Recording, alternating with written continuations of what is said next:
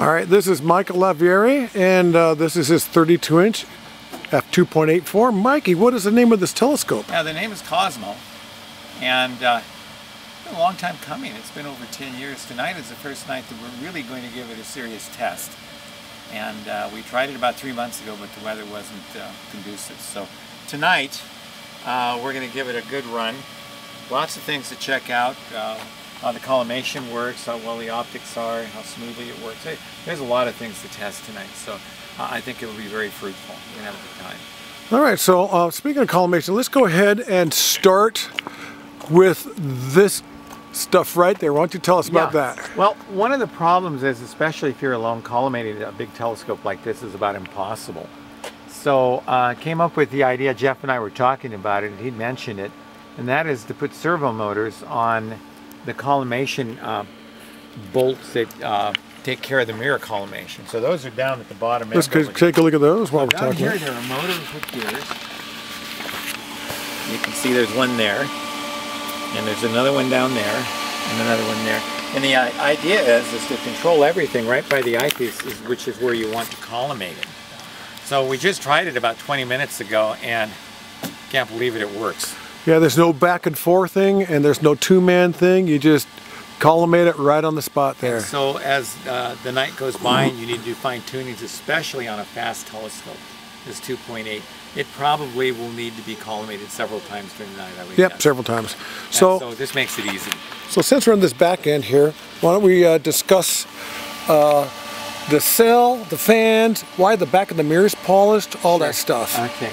So the back of the mirror is polished so that it will slide over the plastic supports that hold it. The idea being is as you move the mirror, the, the mirror, uh, as you move the telescope, the mirror should slide into position rather than be stuck. when it gets stuck, there's pressure on the mirror, and then what you get is astigmatism. So as long as it's slippery, everything is good. And So we we actually did that experiment. We had uh, a 27 point cell. It was a creaky style cell. We uh, polished the back of the mirror and we went with this 18 point JP Astrocraft type and that cleaned it up. far, far superior to the other design. So the other thing on here is that the structure holding the mirror is totally separated from the structure holding it to the scope. No more collimating it by the uh, unions on the uh, trepan or the uh, whiffles.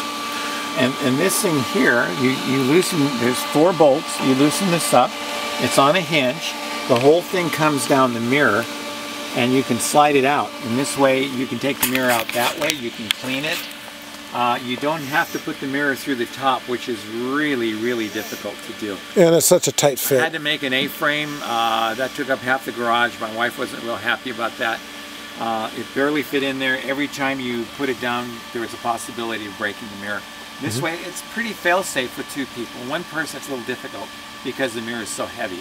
But with two, it's just really simple. You just, um, Well, we noticed there's four fans, and we're just getting. Uh, it's early in the night; it's not dark yet. You got four fans running, but why don't we pull the shroud up and look at the front side so you can explain the uh, the other fan over there? Okay, so we're going to undress the uh, telescope here.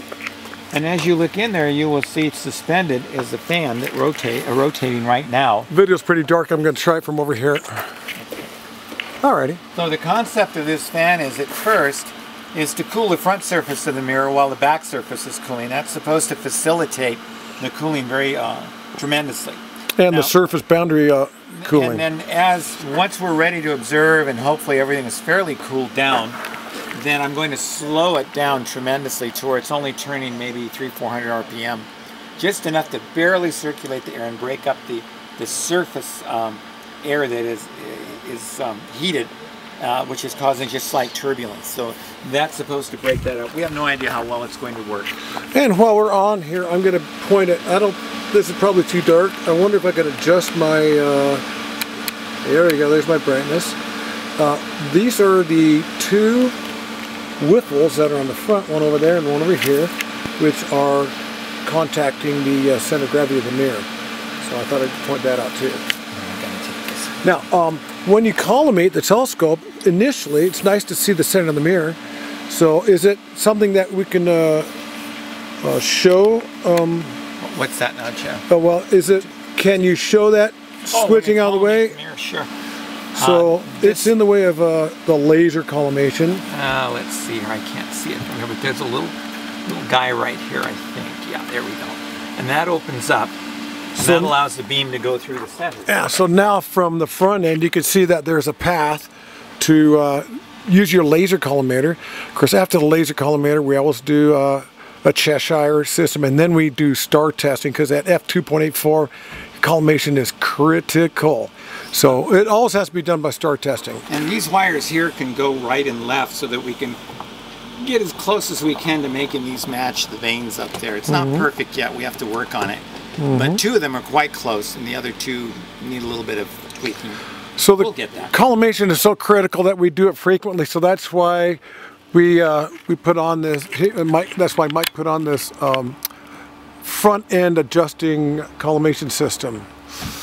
All right, so um, I'm going to go to your secondary mirror. Um, secondary mirror on this is is it a seven? It's a seven inch. It's a 7 inch minor axis, but at 32 inch f2.8 with a SIPS, we had to uh, recess the, let me get a little brighter here. We had to recess the focuser quite a bit to get this thing filled in.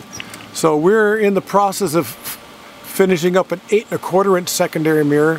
Once we do that, we can pull the focuser back out from being in the optical path and shorten the tube. Uh, the tube. So uh, that's an update coming soon. Is the uh, um, eight and a quarter inch secondary mirror? Oh, one thing I can show too is the transport thing. Yeah, sure. Uh, let me get it.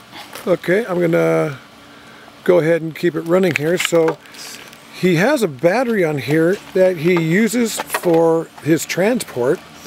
And this scope, how much does the scope weigh, Mike? What's that? How much does your scope weigh? Uh, the whole scope probably 400 pounds. I've never weighed it, but the components add up to about that. So it's got to go in and out of that so ramp. And so he puts this dude on and is able to move this Using telescope. and handlebar, uh, handlebars work, and, and I have those as a fail-safe in case the motor uh, should happen to not work. But this thing just attaches right here. You can raise it or lower it.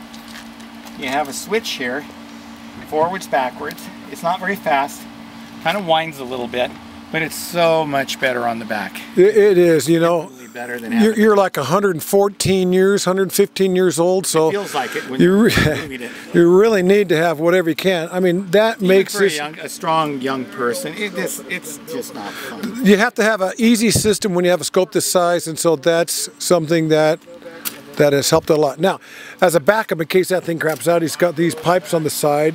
And we bring handles with us so that if about eight foot handles. yeah, And you can pick it up. I could do it. I'd be sore for about two weeks. Chris, who's young and strong and an ex-Marine, he'll probably be able to do that with no effort whatsoever. So, but this is much better. Even an eight-year-old could do this.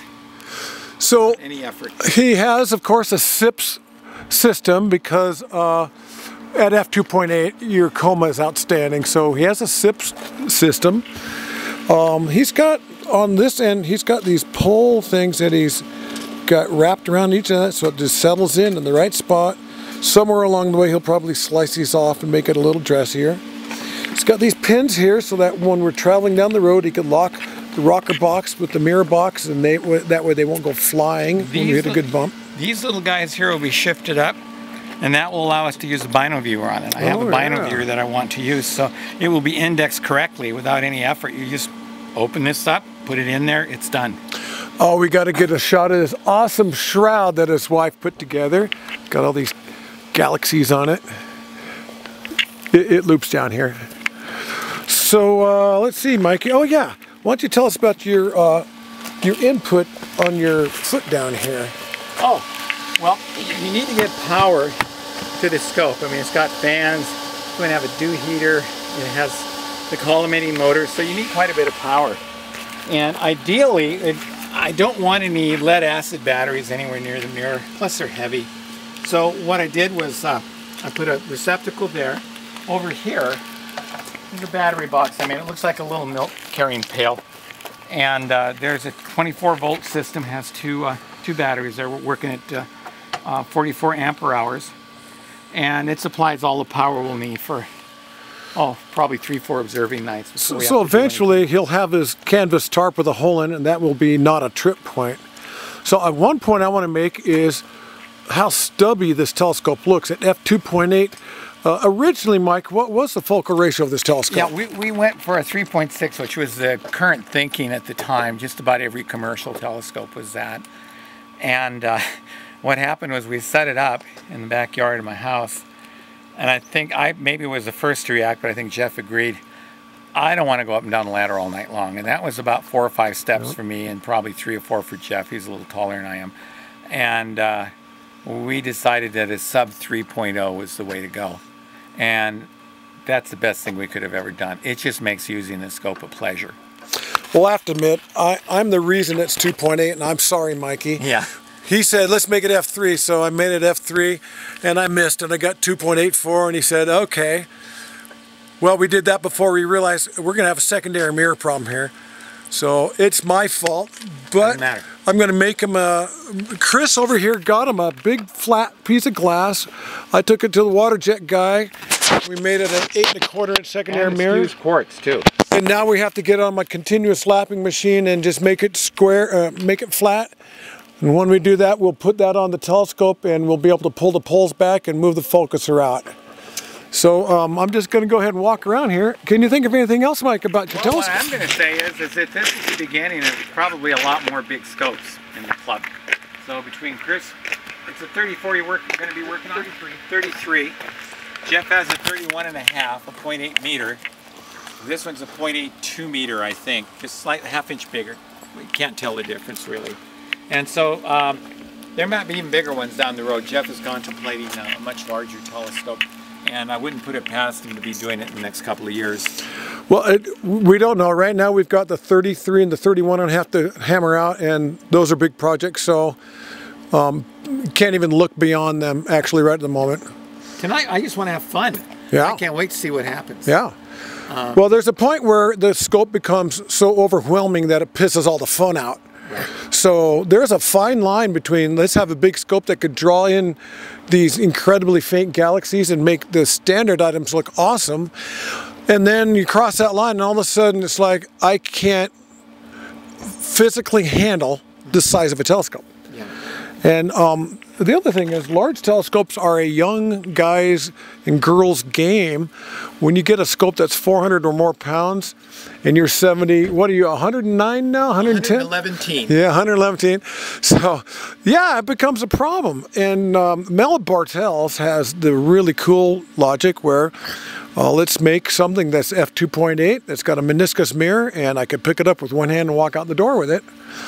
And so, um, anything bigger than this meniscus mirror is probably kind of the ticket.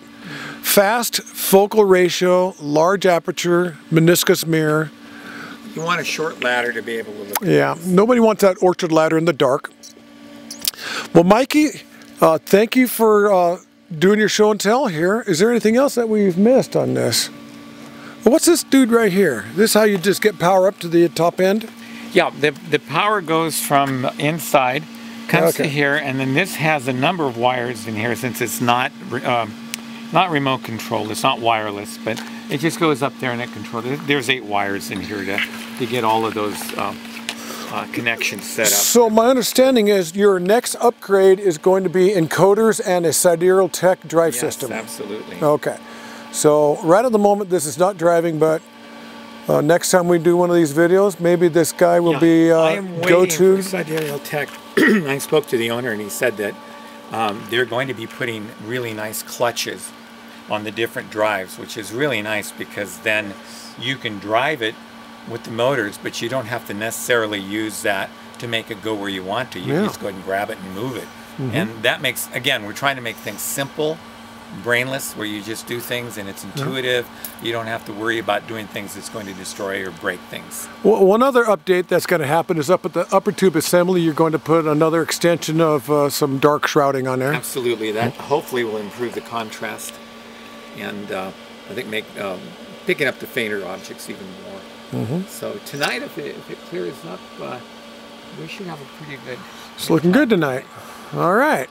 Well, thank you very much, Mikey. My pleasure. Thank you, Jeff. That ends this episode of whatever this is.